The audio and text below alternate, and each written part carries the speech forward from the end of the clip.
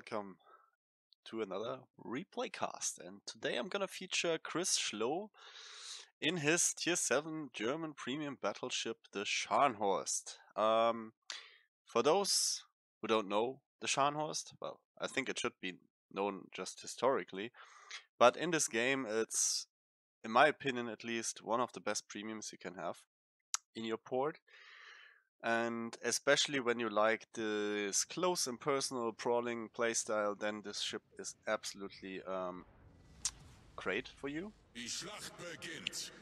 And um, yeah, it's an absolute good around ship in my opinion. So what's the deal with the Scharnhorst first? Let's let's go quickly over it. So it has it's basically a Gneisenau. That's the silver ship from the tech, tech tree, but it has not the 380 millimeter guns, which the Gneisenau has only six of them, and which I Much absolutely obliged. dislike. Yeah, okay, you can overmatch with 380 millimeters a lot, but um, the Scharnhorst has the original, which they had in the war as well, um, 283 millimeter guns, and nine of them, and they are pretty fast firing. Means 20 second reload. Apart from that, they are pretty similar. You have um, two X3 launcher each side, top launcher, so which makes you even more um, dangerous in close quarters engagements. on top, you have a decent AA, mostly on the long range. The Gneisenau is here a bit better because it has also in the mid range a good uh, um, good values. Apart from that, decent speed, 30 knots. Um,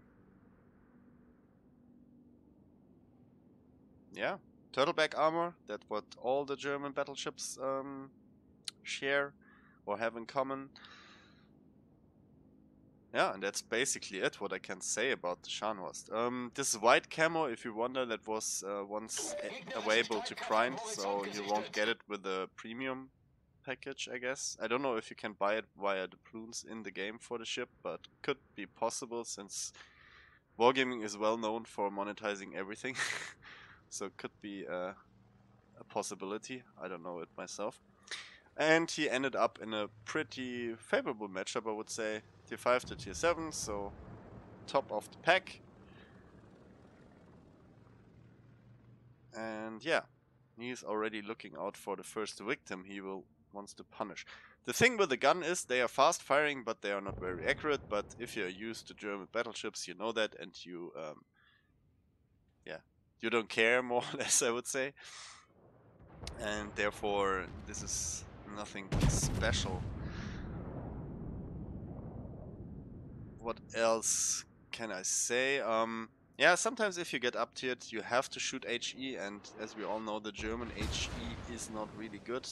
It is doing its job but not really um, good. Um, still it does quite okay up tiered in my opinion if you play it a bit more passive. But especially in this um, setup or lineup, you can play it really aggressive. Nice hits there on the Graf and yeah, that's what um, Chris Schloh will demonstrate today. I watched the replay and I think his playstyle is really good and I like it. He's not too overly aggressive. Many people that own the Gneisenau or Scharnhorst think they go in and brawl from the first minute. That's not going to happen because otherwise you get burned down. That's the thing that all the German battleships have in common. If you're not uh, on full tank build or something where you have fire prevention etc.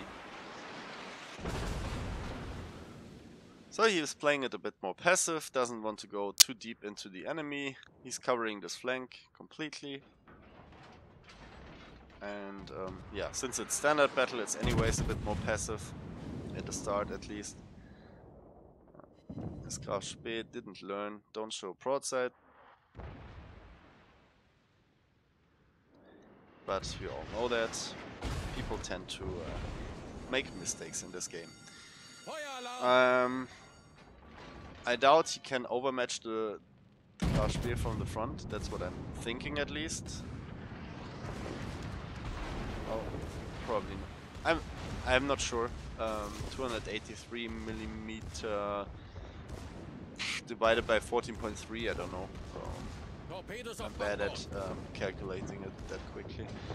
Spee look, looks as if he torqued in this gap. But the range wasn't enough, so he tries probably his second. Oh, oh, oh, and he's running into torpedoes. That were preemptive torpedoes by Chris Schlow, and then, um, yeah, exactly that happens. Hitting two, killing the Shark Graf Spee, and securing the first kill. So, really well played, I like that. This not overcommitting um, um, angled playstyle. It's always great. That's what you want to do in a um, battleship in general. And if you have to go close, you can do it probably later on. When there are not too many um, DDs alive and, and so on and so on. So is he able to outrun the torpedoes? This is the big question here. Uh, yeah, shortly. Oh. Yeah, the Indianapolis was not that lucky. He ate Hatsuharu tropes. hmm. Can happen. Alright, so he's progressing. Um, now he's retreating and is probably lining up another attempt to play a bit more aggressive. But the enemy has some ships here, so naturally you want to go for the cruisers. You want to get rid of the HE spammers as, uh, as early as possible so you can prowl with the battleships. Because against enemy battleships you can angle quite well. The only real big threat on the same tier is, in my opinion, um, the King George or Duke of York. More the King George because of this HE spam. And if you wanna go... Or I burned down so many Gneisenaus, um, yeah, Scharnhorst that wanted to get into a brawl with me uh, in my King George. So you don't want to do that. it's a bit disgusting playstyle, but for all that knew how, um, or for all that watched the um, mid-tier gameplay of the King George know what I mean. It's a bit frustrating to play against the ship. It's quite okayish armored and um, yeah, overall you only get it down with HE more or less, or if the player does sail in broadside constantly. So Chris is sh shooting here HE because he can't overmatch the bow of the Kongo, was 19mm, which should be um, too much for 283, I guess. Hatsuharu is spotted, so he tries to go for a shot here, yeah. I mean, right now he could switch to AP in my opinion. Kongo died, so means he can play now way aggressive, or way more aggressive. There's a Colorado coming. The only concern he has probably right now is the Hatsuharu. And... Well, I guess he's aware of it. Just throwing some preemptive torps in there. And what I like is that he's keeping this island right in front between him and the Hatsuharu, so the Hatsuharu has a hard time topping him at all. So if he stays like he does right now, can use this island as cover. And on the other hand, um, the Hatsuharu, if he's spotted like this, has little chance to do anything. And it looks as if Chris Schlow is using a secondary build because his secondary armament seems to be quite um, focused and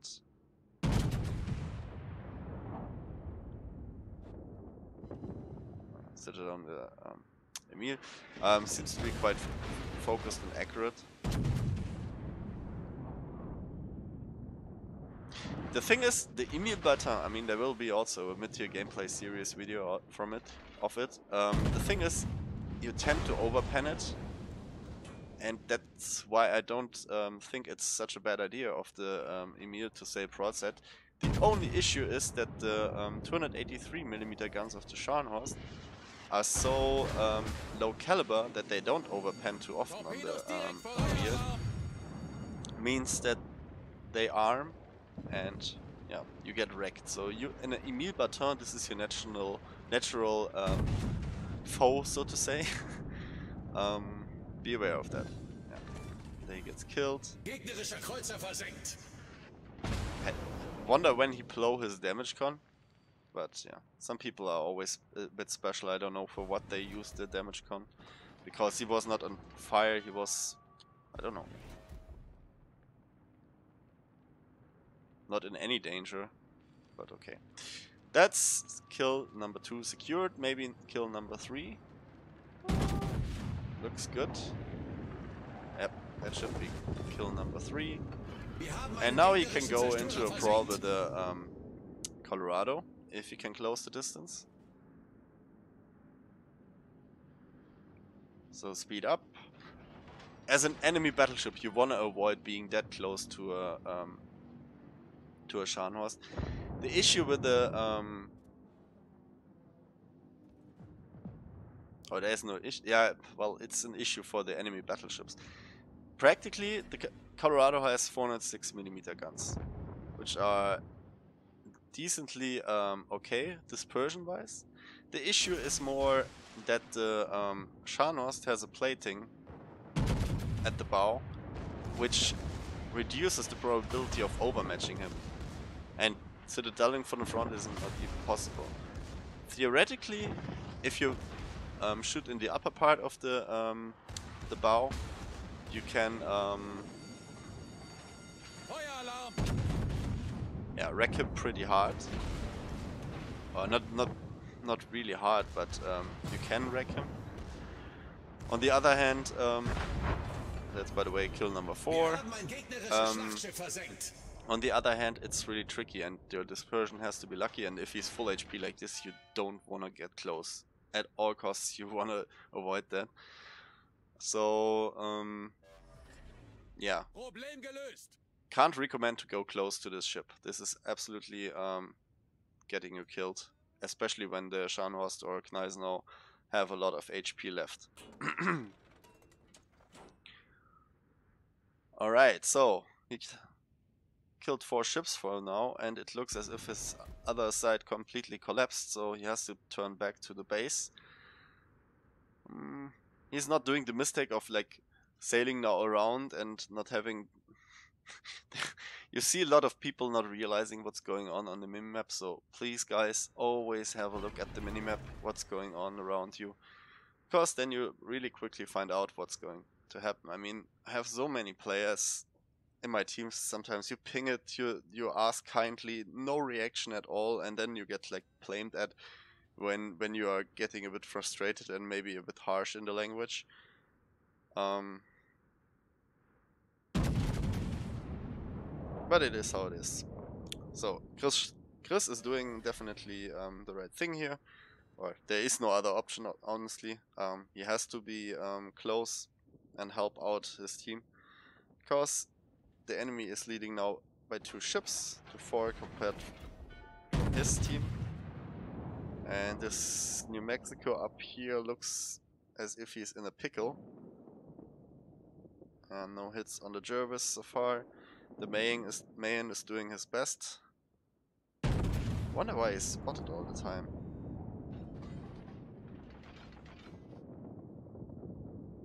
Still no hits. the Ranger is pretty close. This is also not so good. If the Jervis is topping him, he has big, big, big issues. And yeah, but luckily. Gegnerischer Zerstörer versenkt. Chris is killing him, securing the Kraken. And now it's time for some prowling action. The DD is gone. Ooh. the Ranger almost got deleted. So yeah, what do we have? We have a... Well, I wouldn't have shot that. This is just on the bow. Fuso is super tanky. Um, has little superstructure. I would have waited until he turns out. I mean, you can do that in the in the um, since you have such um, a low re um, short reload time, but still. Also, he's trying to protect his carrier, so he has to go in because the enemy carrier is still alive. Means um, if his carrier dies, he has a big issue. And if you look at this, uh, it's two rangers, but they have good strike capabilities. And if the enemy ranger is using AP bombs, I guess that's possible on the ranger, then this can become a real nightmare for him, since uh, German battleships tend to eat a lot of citadel damage from these um, um, AP bombs. But nevertheless, he killed the Dallas, that's kill number 6.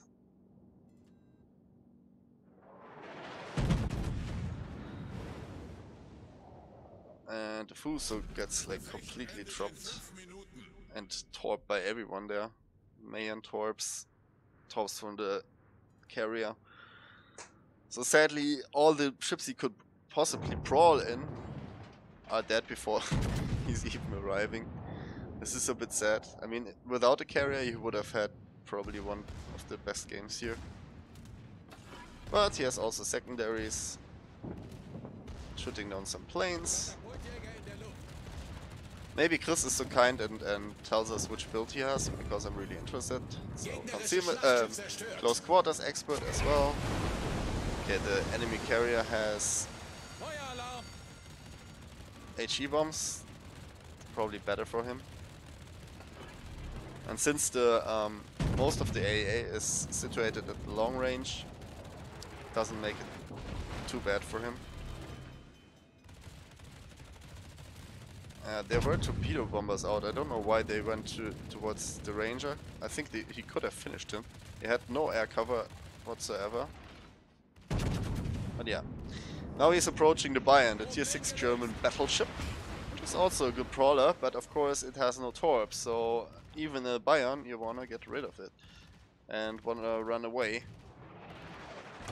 The Bayern has 380mm guns. Unprecise, but able to overmatch as well, like the Colorado was. But then you don't go close, this is really important. And it's of course a bit slower than the um, Scharnhorst, therefore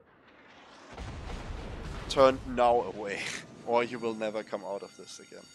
But the carrier is also coming with torp bombers, so I assume there will not be much left afterwards, which is a shame because, as I said, this would this would be the optimal um, situation to brawl.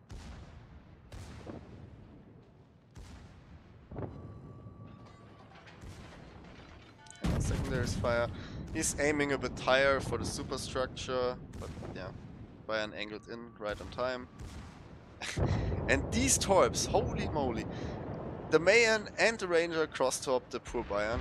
I mean, it's rare that you see that. I mean, I assume it's more accidentally than um, intentional. But this, I think it was already the second time. The Fuso also ended up in eating um, cross torps from Mahan and the carrier. Of course, if it's are they in a division? No. Um, if it's orchestrated, then well done, well done. Um, but still, I assume it's just um, a coincidence. By the way, if you want to be 100% sure that you don't get overmatched, you angle the Scharnhorst or Gneisenau just a little bit against higher caliber um, guns, because then it's almost impossible to hit this um, König dead, kill number 8 secured. Um, almost impossible to overmatch the bow because this 150 millimeter plating is absorbing so much that you can just like bounce the shells off. This is really interesting. So, I mean, I don't know how if it's enough against um, higher tier battleships, but probably as well. So this ship correctly played can be super tanky.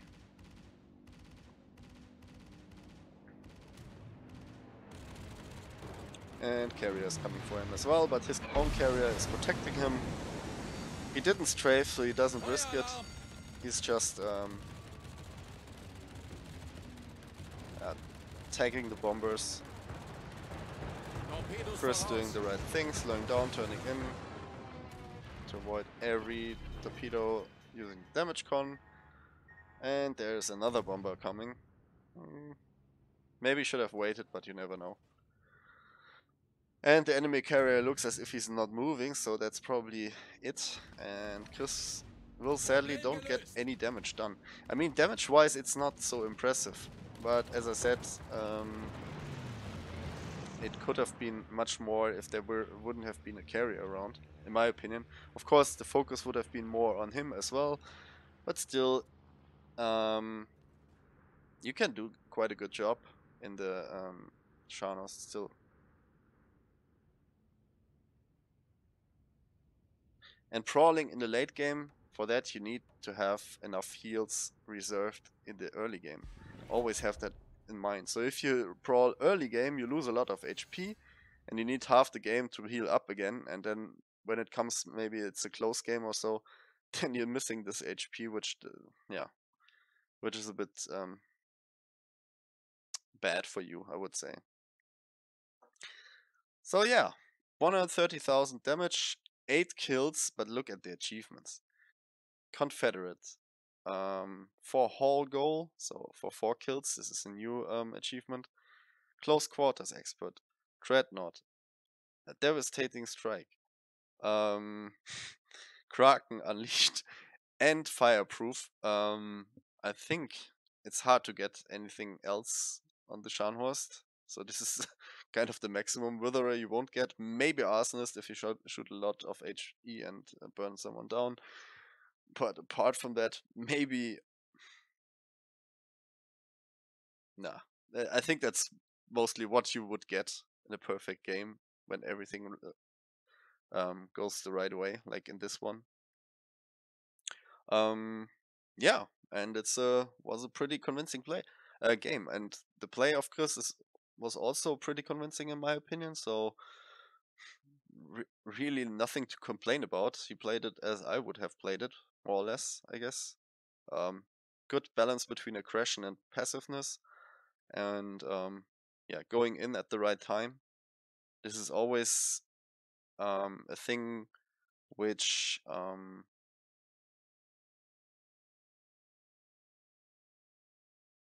how can I say it? A good player enhardens or has it's it's a good player's ability. Let's let's say it that. Sorry for my bad vocabulary, but um, yeah, I will check it afterwards, so I'm not. Um, I know it next time. He ends up with um, 2.2k base XP, which is not too impressive, but look at the damage numbers. Okay, it's not that much. Um, still, he got Confederate, so it's quite a lot, and he was top tier, which reduces the amount of XP that you get in these games, anyways, a bit, since you're matched mostly against lower tiers and at best equal tiers. Potential damage 1.1. Mm, it's okay. I would, would say for tier 7 pretty average. Um, yeah, mostly look at this um, HE shells 5 and then this pitiful damage. So you want to stick to AP no matter what. And yeah, torpedoes is some damage, secondaries made some damage, quite a lot actually. 69 hits, 13,000 damage. I wonder if he's running IFHE or some some some fancy build. Um, yeah, fires and um, floodings not too much either. So he spread the damage among all the ships, I would say, but he didn't completely um, delete one, except maybe for the Graf Spee, he did the most damage there. Um, yeah, but nevertheless, a really good game, and I appreciated Chris that you sent it in. Um, and yeah, thanks for doing so, and thanks for letting me commentate on it apart from that, guys, give it a like if you like what Chris uh, was doing there and if you like my comments on it. Apart from that, have a nice day and see you next time, I guess. Bye bye.